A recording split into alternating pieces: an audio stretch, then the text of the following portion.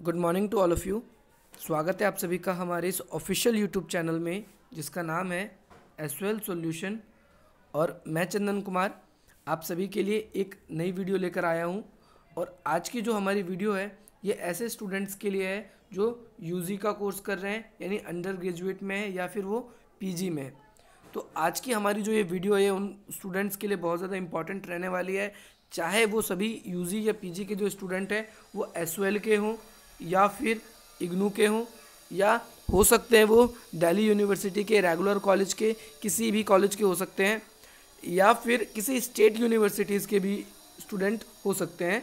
तो आज की जो वीडियो है, ये आपको इतना लाभान्वित होने वाली है, क्योंकि हमने एक ऐसा टॉपिक चूज़ किया है जो आपके एग्ज़ाम में सौ प्रतिशत आता ही आता है। लास्ट ईयर का अगर आप अपना रेगुलर का क्वेश्चन पेपर उठा के देखोगे तो उसमें भी आपको ये मिलने वाला है। और साथ ही साथ आप जैसा जानते हो कि C B C S system नया एस में ऐड हुआ है तो जो ये सिलेबस है ये उसमें भी है। तो इस क्वेश्चन की आने की संभावना इस साल भी पूरी पूरी है और इसीलिए मैंने आप सभी के लिए ये वीडियो बनाई है। बहुत से स्टूडेंट्स मेरे को प्रीवियस वीडियोस में कमेंट कर रहे हैं और कह रहे थे कि सर आ, हमें भी नोट्स प्रोवाइड करवा दीजिए। हम किस प्रकार से आपके नोट्स कलेक्ट कर सकते हैं? तो मैंने आपको वीडियो के डिस्क्रिप्शन में एक लिंक दिया है। उस लिंक के थ्रू आप मेरे को इंस्टाग्राम पे फॉलो कर सकते हैं। साथ ही साथ एस वेल सोल्यूशन का हमारा फेसबुक पेज है। उसमें आप हमसे जुड़ सकते हैं। साथ ही साथ जो नोट्स के लिए स्पेशली नोट्स के लिए हमारा टेलीग्राम का लिंक है। आप उस लिंक के थ्रू अपने ग्रुप में ऐड हो सकते हो। फ़र्स्ट ईयर का अलग है सेकेंड ईयर का अलग है थर्ड ईयर का अलग है। वैसे तो इस वीडियो में आपका फ़र्स्ट ईयर के जो स्टूडेंट्स हैं, उनके लिए फ़र्स्ट ईयर का आपको टेलीग्राम का लिंक मिलेगा। आप उस लिंक के थ्रू उसमें जा सकते हैं और सीधा हमारे उस चैनल को ज्वाइन कर सकते हैं, जहाँ पर मैं आपको समय समय पर प्रत्येक वीडियो के आपको नोट्स प्रोवाइड करवाता रहूँगा। तो अगर दोस्तों आपको वीडियो पसंद आई तो पिछली वीडियो की तरह जितना आपने मुझे प्यार दिया, आपने लाइक किए शेयर करे और कमेंट करके आपने मुझे बताया भी आपका अनुभव कि किस प्रकार का आपका अनुभव रहा तो आप मुझे इसी प्रकार से बताते रहेंगे ताकि मैं आपके लिए ऐसे ही नई नई वीडियोज़ लेकर आता रहूँ और आपके एग्ज़ाम की अच्छे से प्रिपरेशन होती रहे। तो शुरू करते हैं दोस्तों। जैसा कि मैंने बताया, ये क्वेश्चन आपके एग्ज़ाम में इंपॉर्टेंट है और आएगा ही आएगा। ये कहाँ से, पहली बात चैप्टर में कहाँ से पूछा जाता है तो मैं आपको बता दूँ कि आपके जो यूनिट थ्री है, उसका जो पार्ट वन है, उसका क्वेश्चन है और इसका क्वेश्चन सीधा सिंपल सा बनेगा और यूनिट को भी पढ़ोगे तो आपको सीधा पता चल जाएगा कि हिंदी साहित्य का इतिहास इसके बारे में क्वेश्चन है और हिंदी साहित्य का इतिहास भी है, जो स्पेशली तो उसने टू पार्ट्स में डिवाइड कर रखा है, आप देख सकते हो। एक पहला आदिकाल है और दूसरा आप देख सकते हो इसके अंदर मध्यकाल है। अब इसके बारे में क्वेश्चन आएगा और ये पेपर में ज़रूर आएगा। ये बहुत बड़ी यूनिट है। इससे क्वेश्चन पक्का बनेगा हंड्रेड एंड टेन परसेंट बनेगा। और आगे के जो क्वेश्चन है, आपको वो तभी समझ में आएँगे जब आपने आपने ये वीडियो देखी होगी। क्योंकि इस वीडियो में मैं आपको बताने वाला हूँ कि किस प्रकार से कालों का विभाजन किया गया, आदिकाल नाम क्यों पड़ा मध्य काल नाम क्यों पड़ा? इस तरह के जितने इससे जुड़े सारे सवालों के जवाब आपको लगातार एक के बाद एक वीडियो में मिलते रहेंगे। आप इस वीडियो को अधिक से अधिक शेयर करने का प्रयास करें दोस्तों, ताकि और भी लोग इसका फ़ायदा उठा सकें। जैसा कि आप देख सकते हो अपनी स्क्रीन पर कि आज हम इसको बताएँगे कि हिंदी काल को किस तरीके से पूरे में विभाजित किया गया है। और इसको किस प्रकार से नोट्स की तरह एक एग्ज़ाम में लिखना है आपको, ताकि आपको बटे बाई बटे जितने भी मार्क्स का आए, बारह मार्क्स का आता है ट्वेल्व मार्क्स का आता है तो आपको पूरे आउट ऑफ़ ट्वेल्व मिले। टेन का आएगा तो आउट ऑफ़ टेन मिले सिक्स का आएगा तो आउट ऑफ़ सिक्स मिले। आपको तो इसके अंदर सबसे पहले आप देख सकते हो, इसके अंदर आपको सामान्य परिचय देना है। किस चीज़ का सामान्य परिचय देना है? हिंदी साहित्य के इतिहास का। तो इतिहास में हम देखेंगे इसका दो काल के बारे में, जैसे मैंने आपको बताया। सबसे फ़र्स्ट हम देखेंगे साहित्य की लेखन की प्रवृत्ति। साहित्य की लेखन की प्रवृत्ति यानी जो लेख हैंगे, वो कैसे लिखे जाते हैं? किस तरीके से लिखे जाते हैं? प्रवृत्ति का मतलब होता है एक तरीके से उनका ढंग। तो ये जितने भी साहित्य लिखे गए अपने समय में, ये उसकी परिस्थिति और समय के अनुसार बदलती है। अब देखते हैं हम कि जैसे आज की परिस्थिति है तो आज के लेखक आज की परिस्थिति के अनुसार अपने लेख लिखते हैं, अपने सिद्धांत देते हैं या अपनी कविताएँ लिखते हैं।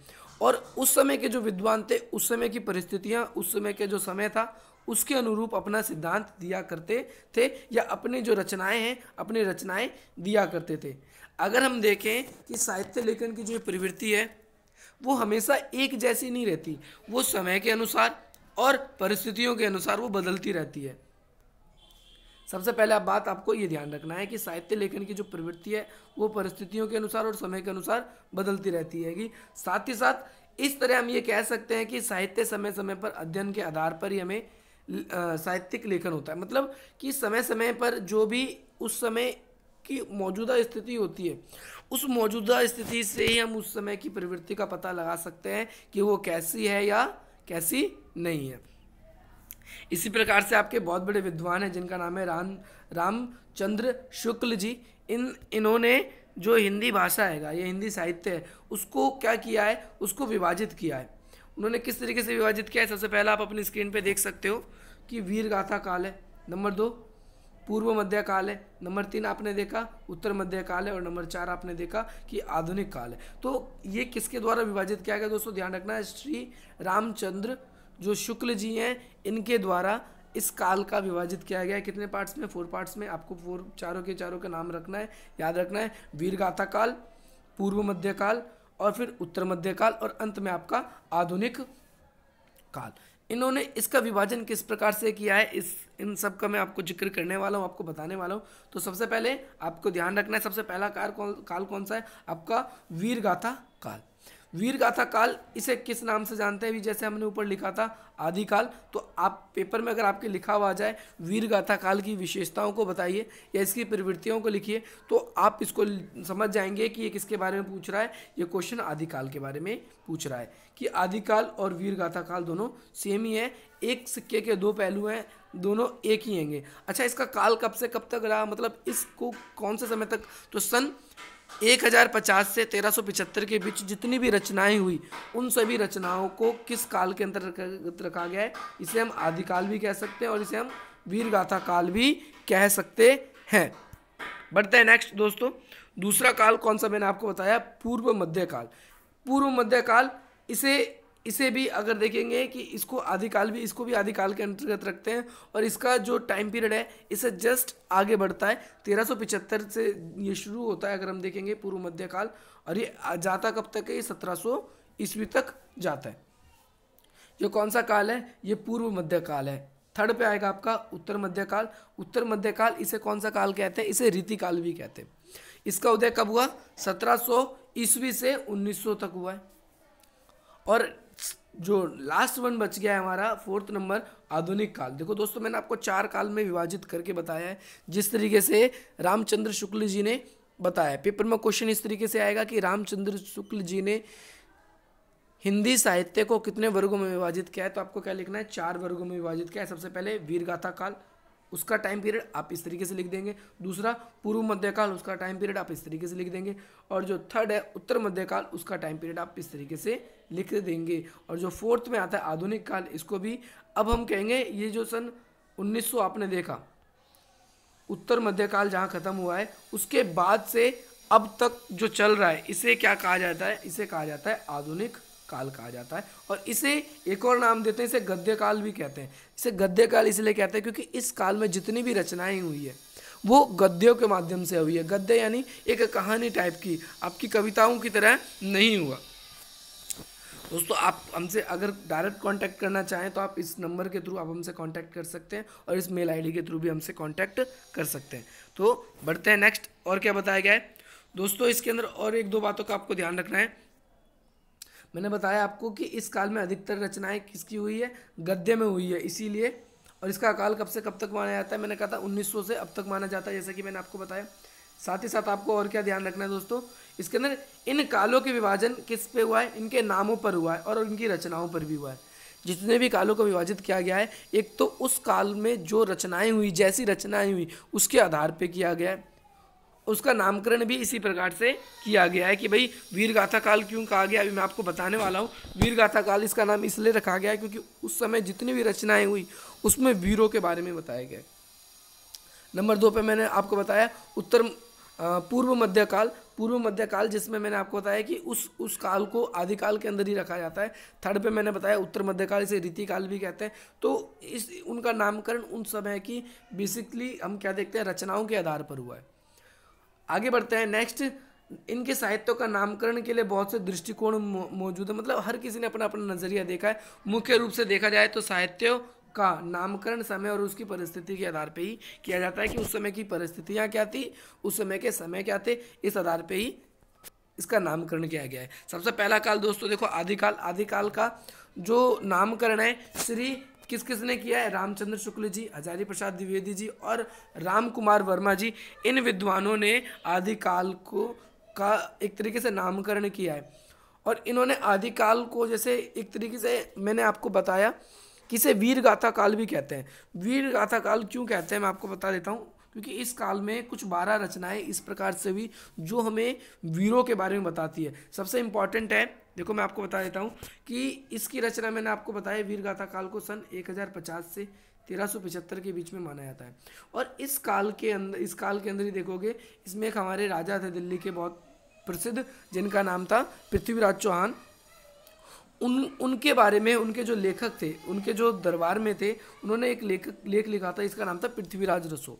इस पृथ्वीराज रसो में ही बताया गया था कि मोहम्मद गौरी को उन्होंने पंद्रह बार हराया था और सोलहवीं बार में उन्हें खुद पराजय मिली थी, जिसके बाद उनकी मृत्यु के बारे में बताया तो उसमें जो पृथ्वीराज चौहान जी हैं, उनको बहुत ज़्यादा वीर रूप से दिखाया गया है। ठीक, ऐसे ही खुसरो की पहेली है और खुरमान रासो है, विद्यापति की पदावली है, ये सब अगर हम देखते हैं कि ये इसी काल में हुआ, इसीलिए इस काल को हम क्या कहते हैं वीर गाथा काल भी कहते हैं और इसमें किस किस आधार पे, किस बे, बेस पे, किस बिहाफ पे कह रहे हैं? तो इस बिहाफ पे हम कह रहे हैं कि इस काल में ऐसी बारह रचनाएँ हुई हैं जो हमें वीरों के बारे में बताती है। इसीलिए रामचंद्र शुक्ल जी, हजारी प्रसाद द्विवेदी जी और डॉक्टर राम कुमार वर्मा जी, ये हमें क्या बताते हैं? ये कहते हैं कि ये काल कौन सा है? वीर गाथा काल है। ये कौन सा काल है? वीर गाथा काल है। ओके? नेक्स्ट आप इसके अंदर देखोगे कि भाई पेपर में एक इंपॉर्टेंट चीज़ ये भी आएगी कि आदिकाल की जो लेखन की, जो प्रवृत्ति क्या थी, देखो दोस्तों ये ये पेपर में बहुत ज़्यादा इंपॉर्टेंट है, आप इस चीज़ को ध्यान रखेंगे कि आदिकालीन हिंदी साहित्य की प्रमुख प्रवृत्तियाँ प्रवृत्तियाँ का मतलब क्या है? उनकी विशेषता, प्रवृत्तियाँ का मतलब क्या है? उनकी विशेषता, यानी उस काल में जो भी रचनाएँ हुई, उन रचनाओं की क्या क्या खासियत है क्या क्या विशेषता है तो आप अपनी स्क्रीन पे देख सकते हो क्या क्या विशेषता है। सबसे पहली विशेषता आपको इसको पॉइंट बनाना है और इसको एक्सप्लेन करके लिखना है कि आदिकाल में जितने भी साहित्य हुए, उसमें एक तो सामंतों और आश्रयदाताओं का चित्रण किया गया है। एक तो सामंतों का और दूसरा आश्रयदाताओं का चित्रण किया गया। मैं आपको बताऊँ जो मोहम्मद गौरी जब जीतता है दिल्ली सल्तनत को तो वो क्या करता है? यहाँ पर मोहम्मद गौरी कुतुबुद्दीन ऐबक को नियुक्त कर देता है। तो इन सब की जो बारे में जो वर्णन है, ये सब वर्णन भी हमें कहाँ से मिलता है? ये हमें पृथ्वीराज रसों से मिलता है। तो इस तरीके से सामंतों के बारे में पता चल रहा है कि एक पृथ्वीराज चौहान को हराकर मोहम्मद गौरी ने, मोहम्मद गौरी ने क्या किया? इस दिल्ली सल्तनत को, दिल्ली को किसी और को किसको दे दिया? कुतुबुद्दीन ऐबक को दे दिया। तो सामंती मूल्य हमें इसमें पता चल रहा है। साथ ही साथ आश्रय कैसे मिलता था इसके बारे में भी पता चल रहा है। साथ ही साथ मैं आपको बता दूँ, इस, इसके अंदर क्या है, इस आदिकालीन साहित्यों की प्रवृत्ति में वीर रस और श्रृंगार रस की प्रधानता है। किस किस की प्रधानता है? मैंने आपको बताया सबसे पहली बात कि इसके अंदर सामंती मूल्य और आश्रयदाता देखने को मिलते हैं। दूसरी बात, इसमें वीर रस और श्रृंगार रस की प्रधानता है। इसमें ज़्यादातर वीरों की तरह राजाओं को बताया गया है और उन्हें जितनी अच्छी तरीके से सजा दजा कर इनके वाक्य वर्ड का चयन हो सकता था। इन्होंने ऐसे वर्डों का चित्रण किया है उसके अंदर। इसीलिए इसके अंदर सिंगार की प्रधानता है। नंबर तीन अगर हम इसके अंदर देखें तो इसमें इसमें ज़्यादातर रचना अप्रमाणिक और अर्ध प्रमाणिक है। अप्रमाणिक का मतलब है कि भाई हो सकता है वो कल्पनाओं में उन्होंने रचनाएँ की है। और जैसे कि हम बता दें आपको कि जो पृथ्वीराज चौहान है कहा जाता है कि पंद्रह बार मोहम्मद गौरी को उन्होंने हराया था, लेकिन और जो दूसरे अन्य राइटर हैं, वो सिर्फ़ दो ही युद्ध के बारे में बताते हैं, जिसमें से एक में तो पृथ्वीराज चौहान जी जीत गए थे और दूसरे में वो हार गए थे।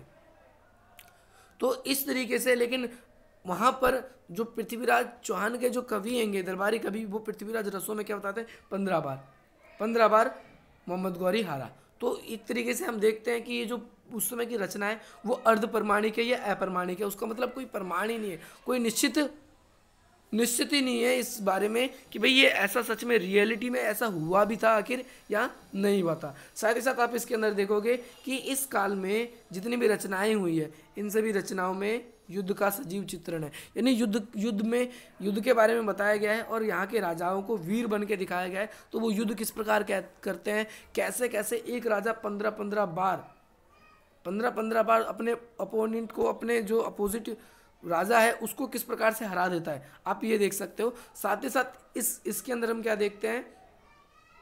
आदिकाल की प्रवृत्तियों में, लेखन की अगर हम देखेंगे तो इसमें एक तो डिंगल और दूसरा पिंगल, भाषाओं का प्रयोग किया गया अब आप कहोगे, ये डिंगल पिंगल क्या है? डिंगल पिंग, जो डिंगल पिंगल जो भाषा है, ये बेसिकली कहाँ की है? राजस्थान की भाषा है। कहाँ की भाषा है? राजस्थान की भाषा है। तो हम इसके अंदर और भी ये देख सकते हैं, और पिंगल उसकी क्षेत्रीय बोली है। तो इसका बड़ा ही चित्रण किया गया है। और साथ ही साथ इसके अंदर हम देखते हैं, इस समय की जितनी भी रचनाएँ हैं, उन सभी रचनाओं में लोक बोली या लोगों की एक तरीके से स्थानीय बोलियों का भी चित्रण किया गया है। तो आप इसका भी ज़रूर ध्यान रखेंगे। इस तरीके से आपका जो ये क्वेश्चन है, ये क्वेश्चन हो जाएगा पूरा। आपको दोस्तों करना है क्या है? इस वीडियो को अधिक से अधिक लाइक करना है। अगर आपको पसंद आए और आप इसी तरीके से वीडियो चाहते हैं, क्योंकि मुझे बहुत स्टूडेंट्स के कमेंट आ रहे हैं सेकेंड ईयर के और थर्ड ईयर के भी कि, सर, हमारी वीडियोस भी बना दो। हम लोगों के लिए भी कुछ नया बता दूँ। किस तरीके से आंसर लिखना है? किस तरीके से और बेस्ट करेंगे? हमारी, हमारे बारे में भी। तो मैं उन लोगों को उन लोगों के लिए भी बनाने वाला हूँ तो वो लोग ज़्यादा निराश ना हो। लेकिन फ़र्स्ट ईयर के स्टूडेंट्स के जो आठ एग्ज़ाम होने वाले हैं तो इस वजह से मैं थोड़ा सोच रहा हूँ उनका जल्दी सिलेबस कवर अप करवा दिया जाए, ताकि उन लोगों को भी और हो सके। साथ ही साथ वीडियो की डिस्क्रिप्शन में आपको ई e का पॉलिटिकल साइंस का उसकी वीडियो का भी लिंक मिल जाएगा, आप उसको भी जाकर देखिए, अपने नोट्स बनाइए एग्ज़ाम की प्रिपरेशन कीजिए और हमारे एस सॉल्यूशन हमारी इस एस परिवार का सदस्य जल्दी जल्दी बनते जाइए और अधिक से अधिक लोगों को जोड़ते जाइए ताकि इसी तरीके से आप रोज़ाना रोज़ाना रोज़ाना नहीं भी अगर मैं आपको वीडियो दे पाता हूँ तो मैं आपको एक से दो दिन में आपके एग्ज़ाम तक आपकी बहुत बेहतरीन तैयारी करवा दूँ ताकि आप उसको प्रिपेयर कर लो और आपको कहीं क्लासेस या और कुछ तरीके की चीज़ें लेने की आवश्यकता ना पड़े। मिलते हैं अपनी नेक्स्ट वीडियो में। धन्यवाद दोस्तों। जय हिंद, जय भारत।